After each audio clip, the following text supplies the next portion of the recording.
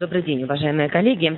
Мы а, предлагаем вам сегодня обсудить одну из сложных тем направлений работы, которые на сегодняшний день осуществляют э, образовательные организации высшего образования. Это трудоустройство и постдипломное сопровождение выпускников вузов с инвалидностью и ОВЗ. Э, предлагаем обсудить сегодня три вопроса программы постдипломного сопровождения выпускников с ОВЗ и инвалидностью, мониторинг трудоустройства и адаптации выпускников вузов и механизмы организации межведомственного взаимодействия. Ну, в первую очередь, мне хочется сказать, что э, одним из критериев эффективности работы вуза на сегодняшний день считается процент трудоустроенности выпускников э, в первый год после завершения обучения. И э, стоит сказать, что наличие диплома об образовании, в том числе высшем образовании, не является гарантией трудоустройства любого выпускника и тем более выпускника с э, особенностями или э, с инвалидностью и УВЗ. Согласно пункту э, первому статьи 27 Конвенции о правах инвалидов, э, государства-участники признают право инвалидов на труд наравне с другими – и это право включает получение возможности зарабатывать себе на жизнь трудом, который инвалид свободно а, выбрал или на который он свободно согласился в условиях, когда рынок труда и производственная сфера являются открытыми, инклюзивными, доступными для инвалидов. Последние годы увеличился рост э, количества выпускников из числа э, инвалидов и лиц с ОВЗ. Современные молодые специалисты, знакомые с новейшими технологиями, владеют навыками в работе и способны применять эффективные информационные средства. Однако не все могут реализовать свои профессиональные возможности по выбранной профессии. На слайде представлена поручение правительства Российской Федерации о мерах по улучшению занятости инвалида и приняты, э, принятые меры.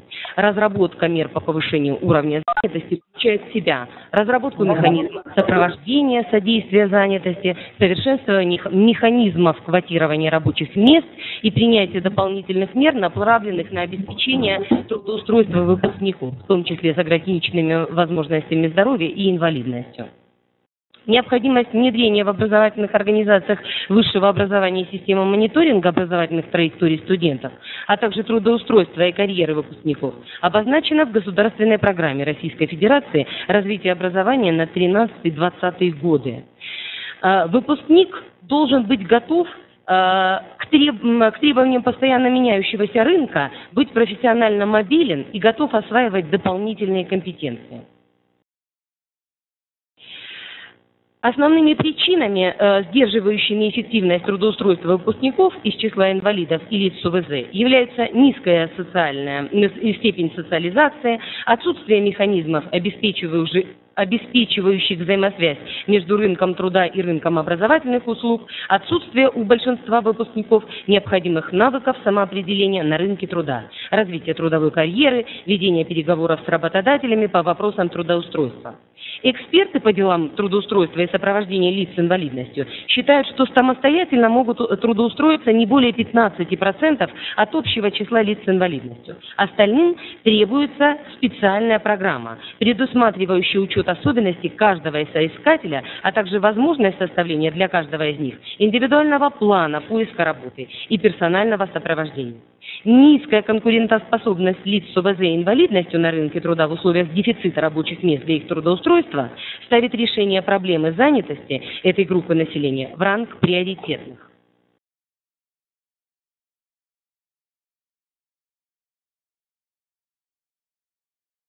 В целях организации системной работы э, по карьерному э, росту и трудоустройству студентов, выпускников в соответствии с полученной специальностью, установление фундаментальных устойчивых связей университета с его выпускниками и партнерами, формирование условий для успешной социализации, профессионализации, эффективного использования потенциала студентов и его выпускников, формирование полноценной инфраструктуры образовательного э, friendraising а, системы корпоративной социальной ответственности в университете, в данном случае в Северо-Кавказском Казанском федеральном университете организован и функционирует Центр трудоустройства выпускников и планирования карьеры студентов.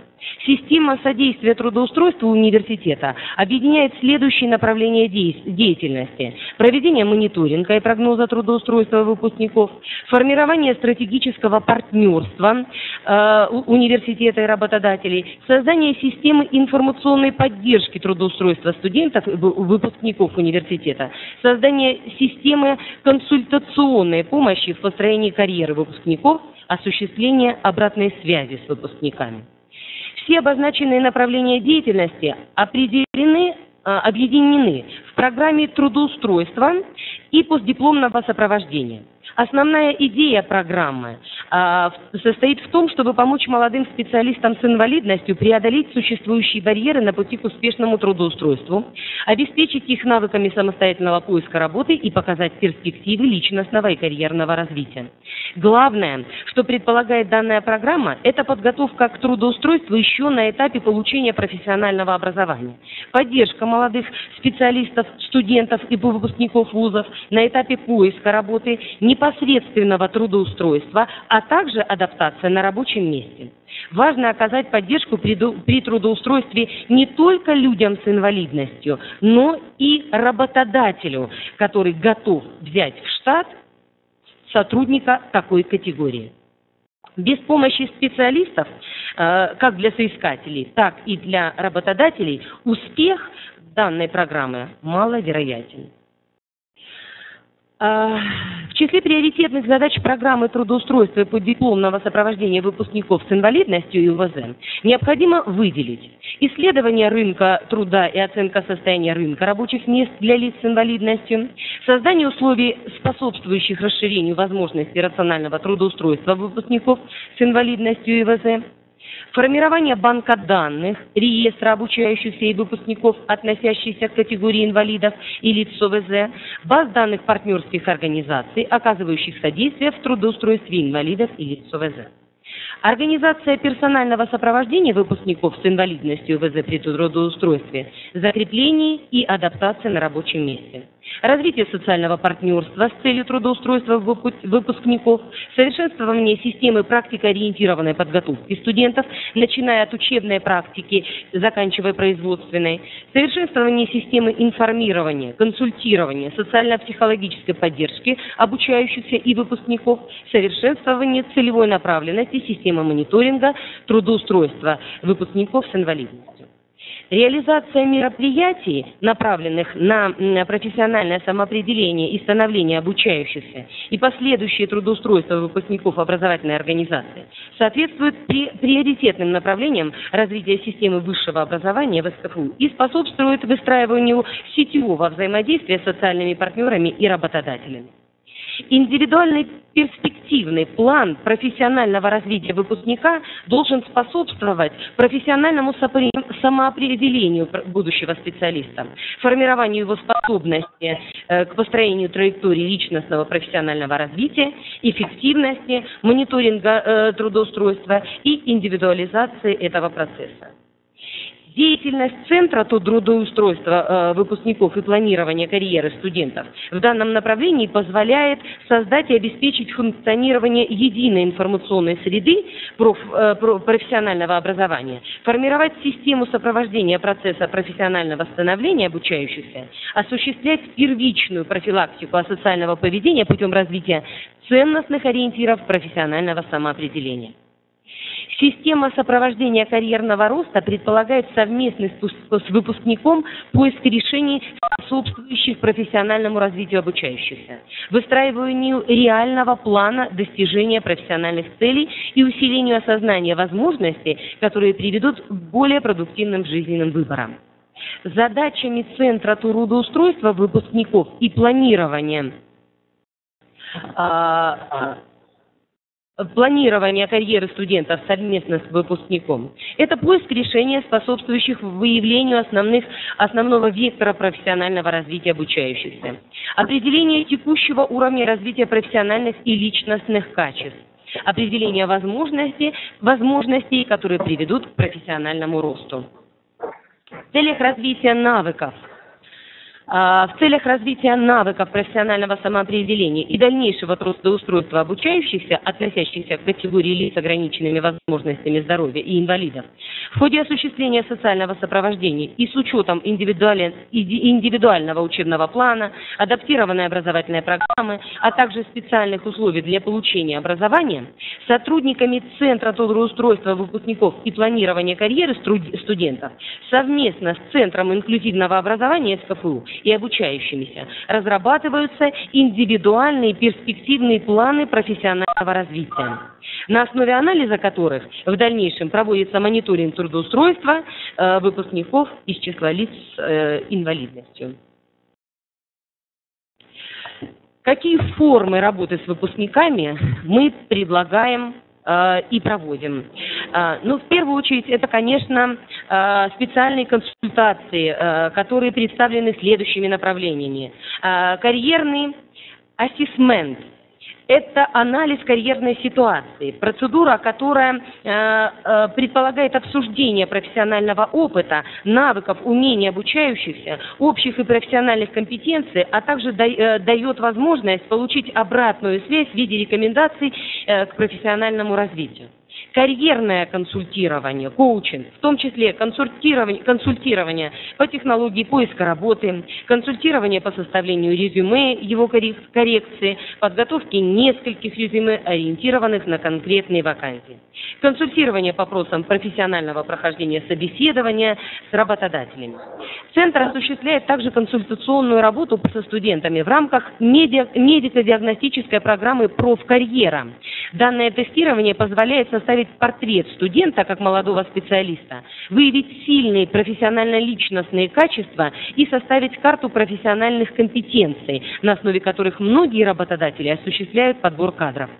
Студент получает на руки результаты тестирования и профессиональную консультацию сертифицированного специалиста центра.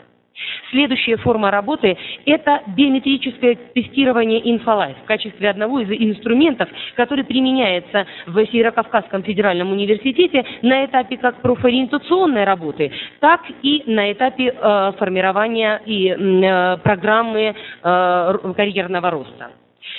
Ежегодно в э, Северо-Кавказском федеральном университете проводит, э, проходит неделя трудоустройства, которую организует Центр трудоустройства выпускников и э, планирования карьеры.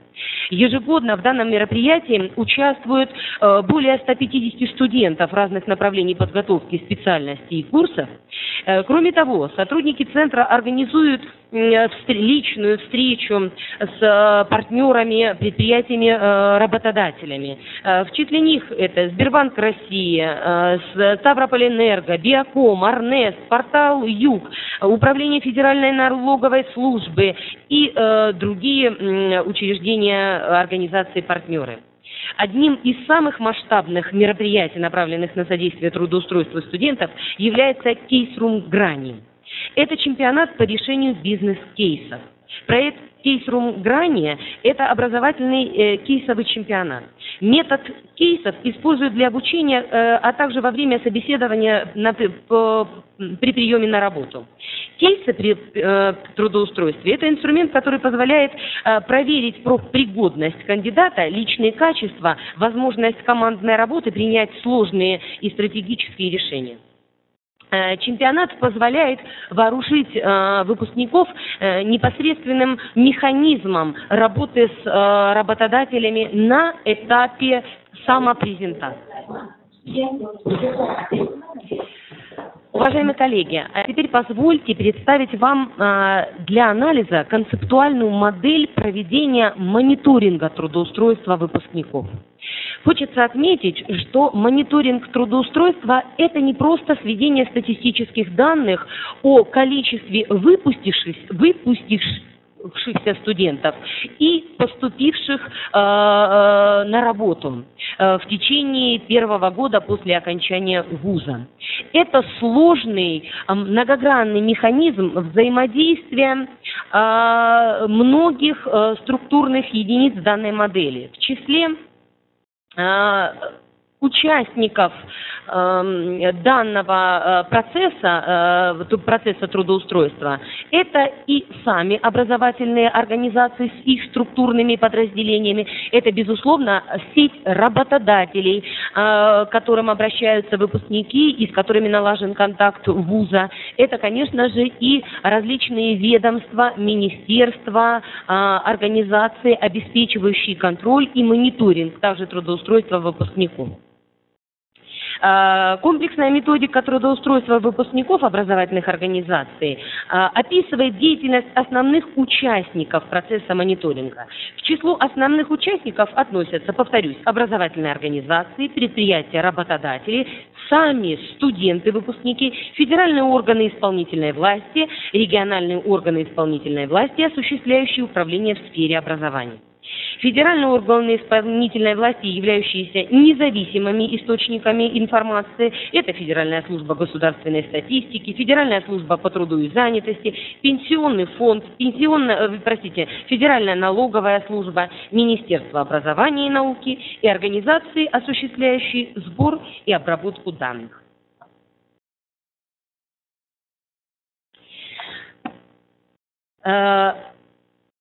Взаимодействие Министерства образования э, науки Российской Федерации с федеральными органами исполнительной власти, региональными органами исполнительной власти субъектов Российской Федерации, осуществляющими управление в сфере образования образовательными учреждениями, представлены на э, э, слайде. Э, э, на слайде приведена взаимосвязь между основными участниками в процессе взаимодействия по мониторингу трудоустройства выпускников.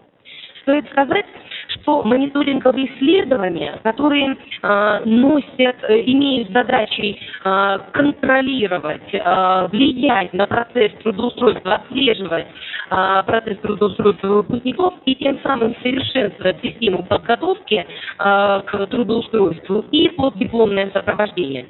Так вот, механизмы можно разделить на два уровня. Уровень внутренний, уровень, который замыкается внутри самой образовательной организации. То есть статистические данные стекаются в образовательную организацию, и организация сама использует их, а, разрабатывая систему а, обучения, а, трудоустройства, практики, организацию практики студентов и внешняя система мониторинга. Эта система предполагает предоставление а, сведений не только в образовательную организацию, но и в те э, ведомства, в те организации, которые в дальнейшем, используя э, результаты мониторинга, э, выстраивают государственную политику э, карьерного роста и профессионального самоопределения трудоустройства выпускников. В этой связи э, Позвольте несколько подробно остановиться на целях э, мониторинга. Э, основные цели э, мониторинга и взаимодействия участников в процессе мониторинга. Первое – это обмен опытом, э, опыта проведения мониторинга трудоустройства и обмен информацией. Это обмен данными о трудоустройстве выпускников. В соответствии с этими целями, в свою очередь, и выделяются э, способы э, проведения мониторинговых исследований. Первая группа – это способы взаимодействия с целью обмена опытом, включает конференции, семинары, круглые столы с участием всех э, структурных единиц, которые э, обеспечивают мониторинговые исследования. И вторая группа э, способов – это э, взаимодействие целью обмена, сбора и распространения информации. Э, к таким способам относятся методы статистические или формы э, статистические, унифицированные, э, унифицированного формата, обмен агрегированной информацией, например, показатели трудоустройства разных ведомств, ведомств и обмен или сбор уникальных данных разных ведомств в формате базы данных. Размещение информации на официальных сайтах и ведомствах, сайтах образовательных организаций.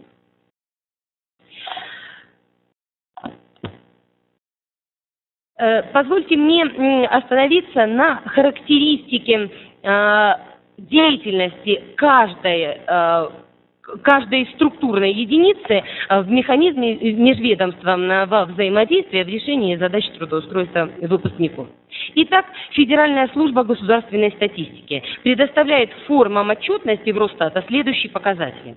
Отношение количества обучающихся в рамках целевой э, контактной, контрактной подготовки к числу выпускников из образовательных учреждений системы профессионального образования, отношение общей численности получивших э, направление на работу к выпуску из образовательных организаций системы профессионального образования, отношение количества получивших направление на работу по специальности, отношение общего количества выпускников, не получивших направление на работу, отношение общей численности выпускников, которым предоставлено право самостоятельно трудоустроиться, отношение численности выпускников, продолжающих обучение на следующем уровне магистратура, аспирантура, отношение численности выпускников, призванных в ряды вооруженных сил Российской Федерации к выпуску из числа образовательных учреждений системы профессионального образования.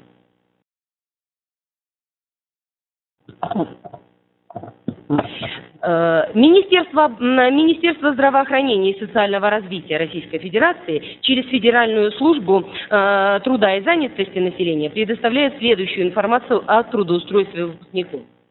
Численность выпускников официально зарегистрированных, зарегистрированных в службе занятости численность безработных. Для контроля качества организации проведения процесса сбора данных представляется целесообразным опуститься на региональный уровень, и все параметры качества организации проведения сбора данных будут иметь признак субъекта Российской Федерации и рассчитываться на трех уровнях.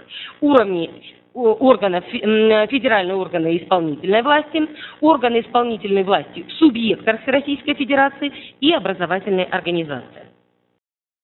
А, а, для объективной и разносторонней оценки процесса предполагается вести три расчетных параметра. Это параметр результативности, параметр оперативности и параметр ресурсоемкости. Параметр результативности будет рассчитываться на основе отношения объема предоставляемых сведений к общему объему затребованных данных. Параметр оперативности рассчитывается исходя из э, отклонения фактических сроков предоставления информации. И параметр ресурсоемкости будет рассчитываться на основе данных об установленной частоте сбора и объема тех данных э, о трудоустройстве выпускников. Другими словами, уважаемые коллеги, хочется сказать, что мониторинг трудоустроенности выпускников, повторюсь еще раз, это не просто сбор данных относительно количества выпустивших, выпустившихся выпускников и количества трудоустроенных выпускников. Это сложная система взаимодействия расчетов, которая предполагает не только вывод статистических данных, но и поиск э, проблем э, неэффективного трудоустройства и решения данных проблем э, далее, э, которые могут быть отражены в программе постдипломного сопровождения и э, трудоустройства выпускников. Э, в рамках деятельности РУМЦ нами была э, разработана а, анкета трудоустроенности выпускников, куда мы постарались э, ввести всю информацию, необходимую нам для э, подробного анализа не только фактов трудоустройства, но и причин выбора э, того или иного Э, пути либо э, трудоустройства выпускника, либо продолжение обучения на следующем этапе, либо каких-то иных шагов, которые наши выпускники предпринимают. Наша анкета была представлена тремя основными разделами. Первый раздел – личные данные, которые дают нам возможность познакомиться а, с нашими выпускниками. А, а, второй раздел образования, который предполагает четкое понимание, на, на какой уровень образования получил наш выпускник, является ли это образование первым, и, э, соответственно, каковы мотивы получения последующего образования или, возможно, проф профпереподготовки, профессиональной переподготовки. И третий раздел, который а, предполагает сбор а, данных и аналитических сведений относительно трудовой деятельности выпускника. Данный раздел предполагал анализ, э, сбор информации э, не только о механизмах, которым выпускник прибегал в период поиска работы после окончания образовательного учреждения, но и выявление степени его удовлетворенности текущим местом основной работы и является ли это место работы первым, а возможно уже, э, соответственно, э, измененным.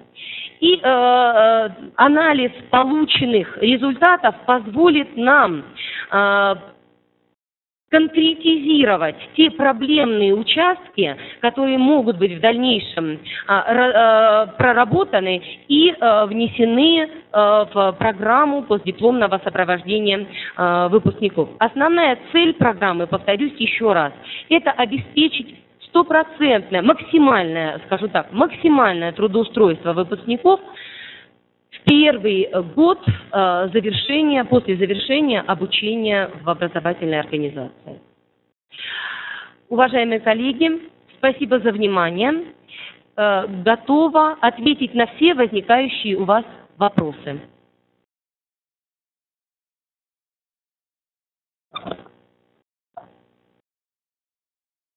Уважаемые коллеги, Людмила Владимировна закончила свою информацию. Пожалуйста, вопросы либо в чате, либо при э, аудиоподключении. Мы готовы отвечать.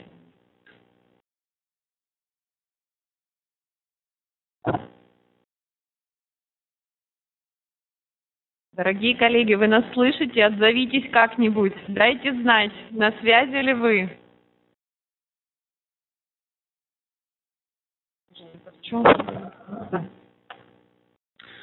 Уважаемые коллеги, мы... А,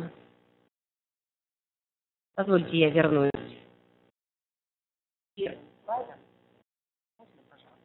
А, выгода работодателей заключается, ну, наверное, по-другому э, сформулирую, не столько выгода, сколько обязанность работодателей заключается э, в принятии э, на работу э, инвалид, э, лицо, ли, лица с инвалидностью, если у э, данного человека соответствующая квалификация, и, соответственно, право э, получения, право трудоустройства закреплено, э, уже говорила, Конвенции э, о правах инвалидов и, соответственно, э, дальше закрепляется правительственными поручениями и законами и подзаконными актами.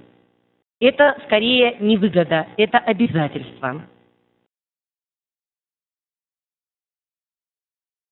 Спасибо. Ну, я думаю, все а, обязательно должно сочетаться и а, с каким-то утилитарным мотивом, безусловно. И здесь, конечно же, стоит говорить о том, что а, ребята, выпускники с инвалидностью, это далеко не всегда как бы внешне не мобильные, не готовые выполнять какие-то обязанности люди. Дело в том, что за вот э, какими-то проблемами физического развития очень часто скрывается очень высокий интеллектуальный потенциал, хорошая включенность э, в трудовой процесс понимания сути профессии. Это связано с тем, что ребятам э, как бы приходилось в процессе обучения в любом случае преодолевать много таких как бы формальных трудностей, которые заставляли их тщательнее учиться.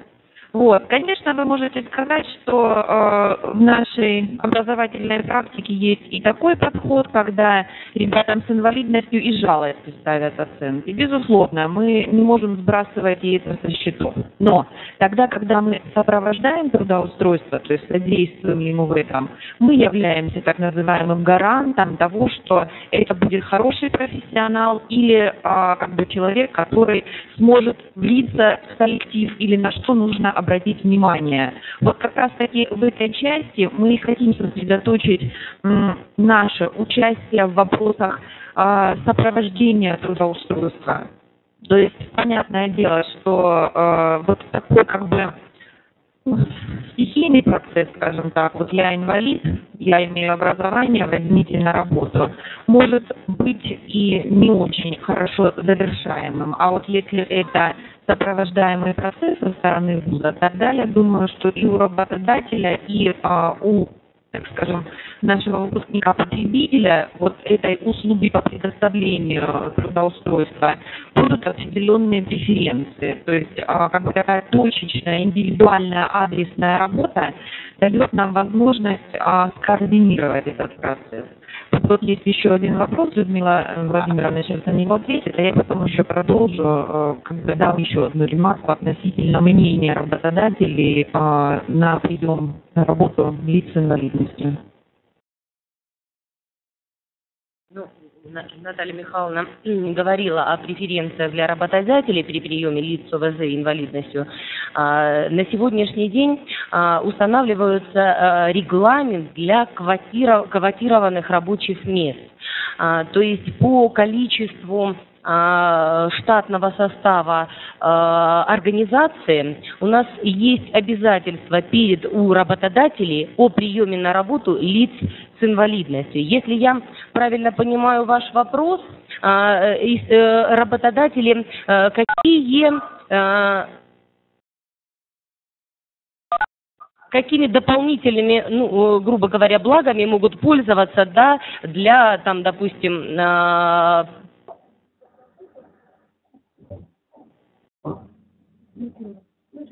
при приеме на работу лиц с инвалидностью. В данный момент времени могу сказать, что есть, э, скажем так, механизм, а, э, э, который регламентирует соблюдение законодательства о квотировании мест при приеме на работу. Есть определенная система штрафов при отсутствии таких эм, сотрудников в штате организации. То есть коллеги поняли, кнут уже работает, пряник пока относительно. Пряник существует только лишь для а, негосударственных организаций, это индивидуальные предприниматели, общества с ограниченной ответственностью и так далее. В части а, налоговых вычетов и э, других вот как бы финансовых а, обязательств перед государственными органами. Что касается бюджетных организаций, здесь, конечно же, никаких финансовых преференций нет, но а, от 36 человек штатного состава, то есть малое предприятие, уже пересекается граница, одно а, рабочее место. И далее, по мере того, как увеличивается штатный состав организации, квота рабочих мест для обеспечения трудоустройством лиц с инвалидностью растет. И вот а, хочу сказать, что организации, заинтересованные в выполнении вот этого федерального требования, они даже подыскивают себе как бы людей с инвалидностью, которые могут выполнять те или иные функции. Вот сейчас приведу вам такой пример, что к нам трудоустраивается молодой человек, специалист по техническим средствам обучения лиц с инвалидностью, инвалид по зрению. И вот а, для него созданы все благоприятствующие условия для того, чтобы он как можно скорее стал сотрудником, именно потому, что на конец года у нас э, есть одно квотированное место.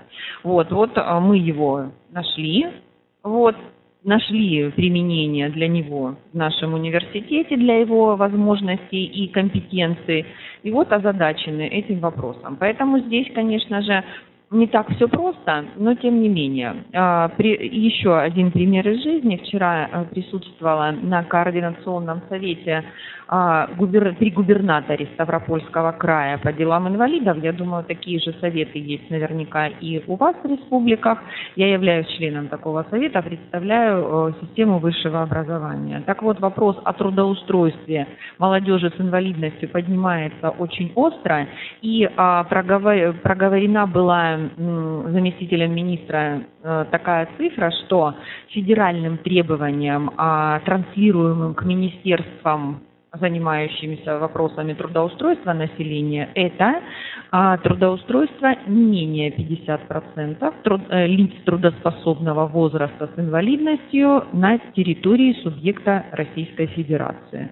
Поэтому я думаю, что сейчас вот как раз-таки та самая пора начинается, когда а, мы, дойдя до а, как бы границы выпуска наших выпускников, начинаем получать поддержку с другой стороны. То есть а, уже запрос будет формироваться и от работодателей в том числе, координируемых усилиями Министерства социальной защиты и а, труда в каждом из субъектов. Поэтому Наша задача а, в обязательном порядке давать ребятам качественное образование, выстраивать вот эти а, э, как бы связи с работодателями, которые берут на себя ответственность трудоустройства этих лиц, ну и, соответственно, тогда обращаться за помощью на уровне межведомственного взаимодействия. Потому что, безусловно, один университет ничего не сделает. Что касается нашей практики трудоустройства, да, Людмила Владимировна сейчас ответит, а я поддержу. Уважаемые коллеги, ну, практика трудоустройства лиц с инвалидностью и УВЗ у нас э, достаточно позитивная. В связи с этим следующим моментом могу сказать. Неоднородно по направлениям подготовки и специальностям. В целом, по федеральному, по результатам федерального мониторинга трудоустройства, 56% лиц с инвалидностью ВЗ у нас в данный, вот на, по состоянию на прошлый год трудоустроены. Что такое 56%? Это значит, по некоторым специальностям трудо, трудоустроено 100% э, выпускников, а по некоторым э, э, специальностям есть, скажем так, один человек, допустим, выпускник из числа лиц с инвалидностью, и девушка ушла в декретный отпуск. Соответственно, процент трудоустроенности здесь ноль. А, вот, соответственно, такая цифра и складывается, 56%. Это на данном этапе достаточный показатель, но вот весь механизм организации э, работы, в общем-то, направлен на то, чтобы максимально повышать данный показатель трудоустроенности. Ну а если говорить по статистическим данным, а, могу сказать следующее. Наибольшая а, востребованность на рынке труда испытывают специалисты а, технической, инженерно-технической сферы. К сожалению, вот выпускникам гуманитарного профиля на сегодняшний день, но ну, я хочу сказать, эта проблема касается не только лиц с инвалидностью. Выпускникам гуманитарного профиля, в общем-то, они встречают препятствия препятствия на этапе трудоустройства. Вместе с тем, коллеги, я хочу заметить, что а, в городе Ставрополе и Ставропольском крае есть а, предприятия, я упоминала об этом в процессе а, предыдущего вебинара, которые непосредственно берут на себя социальную ответственность по обеспечению рабочих мест для а, выпускников учебных заведений, а, которые имеют инвалидность. Вот, и а, вот на кадровом форуме, который состоится а, 19 декабря, а, будет встреча с работодателями, которые как раз и создают в основном вот эти вот а, значительные условия, потому что а, аттестация рабочих мест для приема а, ребят с инвалидностью на работу является обязательным требованием, а, как бы регламента их трудоустройства. Поэтому вот у нас есть завод электроавтоматики, есть а, филиалы банков Сбербанка России, есть а, другие а, организации, где именно созданы вот цеха, например, на заводе электроавтоматики, или отдельные рабочие места, а, где а, вот лица как бы с нарушениями опорно-двигательного аппарата или со сниженной зрительной функцией имеют возможность получить все требующиеся условия для их трудоустройства. Вы спросите опять-таки, зачем нужно это работодателю? А здесь много разных причин. И в том числе, кстати, как мы говорим о том, что инклюзия – это в принципе дело человек-человек, так вот и здесь. То есть, а, да, руководитель считает это приоритетной задачей и совершает это. А мотивация может быть совершенно разная, как начиная от личного участия в решении социальных проблем, как бы громко это ни звучало, до а, исключительно предоставления возможности а, другим людям получить тоже вот это рабочее место. И вкладывают работодатели дополнительные средства, выстраивают стратегии взаимодействия с вузами. Вот в перечисленных мной организациях есть базовые кафедры нашего университета, с помощью которых вот этот обмен, взаимообмен, скажем так, э, наукоемкими и практическими технологиями, а также кадровыми э, вопросами, то есть э, преподаватели обеспечивают определенный запрос работодателя и постав, ну, если можно так выразиться, поставку как бы кадров для работы. Вот, а соответственно практическая база обогащает образовательный процесс и потом вот постдипломные вопросы своими технологиями практического применения, человеческого капитала в том числе. Спасибо. Еще, пожалуйста, коллеги, есть вопросы? Вопросов, похоже, нет. В чате у нас тишина. Вот, хотелось бы, конечно, сегодня, коллеги, дать четкие алгоритмы с выходом на абсолютно положительный результат. То, как надо сделать так, чтобы наш вчерашний абитуриент, сегодняшний студент и завтрашний выпускник смогли бы найти работу и устроить свою жизнь очень хорошо, с высоким качеством. К сожалению, социальные условия не дают нам такой возможности алгоритмизировать вот этот процесс. Но тем не менее, если в этом направлении мы работать с вами не будем, то это дело так и не сдвинется с мертвой точки. Вот, я уже говорила, проблемы сопровождения трудоустройства и постдипломного сопровождения выпускников для нас являются приоритетными и развиваемыми на сегодня. Поэтому, если у вас, к примеру, есть определенный положительный опыт, мы бы были очень рады, если бы вы поделились им с нами в рамках вот этого кадрового форума. Поэтому мы с большим нетерпением ждем вас на мероприятиях, потому что как бы, здесь важно и партнерство в том числе. Вот, чем больше мы привнесем информации о позитивных практиках как бы, для понимания друг друга, тем лучше будет наша совместная работа и сетевое взаимодействие. Людмила есть еще что добавить в рамках проблемы?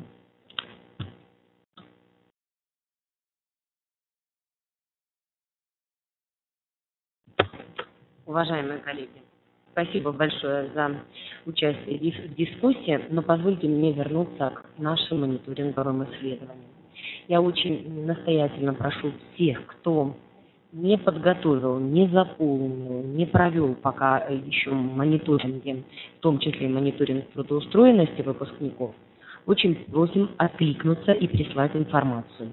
Если у вас а, так сложилось, что в прошлом году, потому что мы а, опрашиваем а, студ...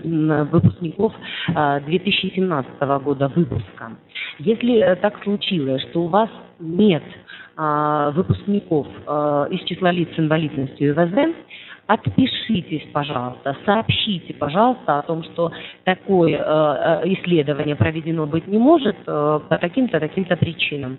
И пишите, пожалуйста, мне на почту, чтобы уже мы не ожидали вас, а приступили к обработке материалов, которые уже поступили. Спасибо большое. Коллеги, спасибо за внимание. Я понимаю, что предмет диалога нашего сегодня исчерпан, поскольку от вас мы не получаем никаких запросов, никаких вопросов или предложений. Поэтому разрешите на сегодня мероприятие закончить и попрощаться с вами. Вот, и а, очень прошу, напоминаю, теперь все подключились. В течение этой недели мы должны получить заявки а, на участие в, э, в мероприятии 14 декабря и самое главное, составы делегаций на 19 декабря. Коллеги, вопросы связаны с финансированием вашего приезда. Пожалуйста, э, будьте оперативны в этом вопросе, чтобы ничего у нас нигде не было нарушено. Спасибо за внимание. До свидания.